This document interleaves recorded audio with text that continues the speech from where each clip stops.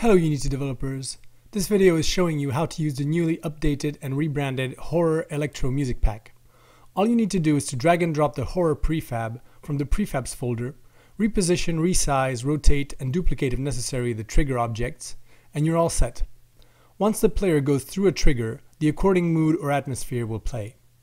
When you're done testing, just disable the trigger's mesh render and you're all done.